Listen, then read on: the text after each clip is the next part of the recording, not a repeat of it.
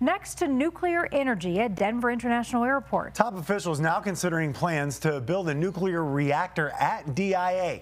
Your reporter Alan Gionet joins us live tonight. And Alan, the idea is that a nuclear reactor would help meet the airport's growing energy needs.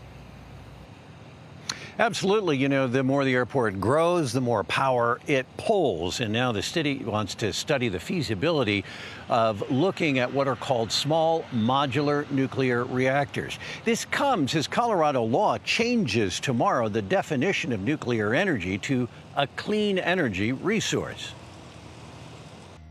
It looms on the east side of the metro area, a hub for transportation employing thousands, yanking down power to keep going.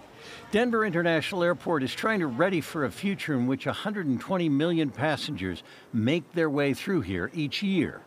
Does it sound like a good answer for an airport at DIA, but given, given its power demands in the future? I think any large power consuming entity could benefit from nuclear power.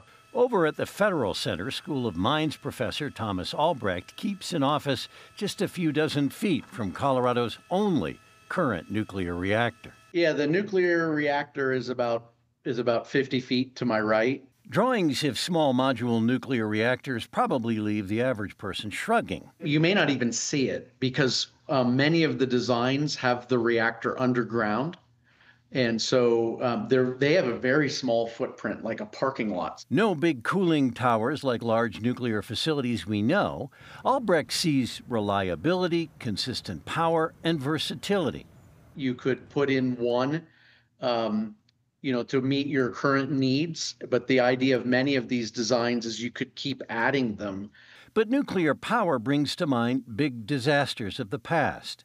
It's being sold that it's safer. It's being rebranded as advanced nuclear with new designs that have yet to be implemented. There's many are still in a prototype. Chris Allred and Jamie Valdez are with Colorado environmental groups. They ask why not other clean sources, ones they believe are advancing faster. Those other energy resources don't produce waste that is as hard to deal with as radioactive nuclear waste. The question for small modular nuclear facilities is similar to that of other power sources. Is this affordable enough yet? That is the big question. Big reactors are likely to have better economics. But as they get smaller, then this then it becomes a little more um, debatable.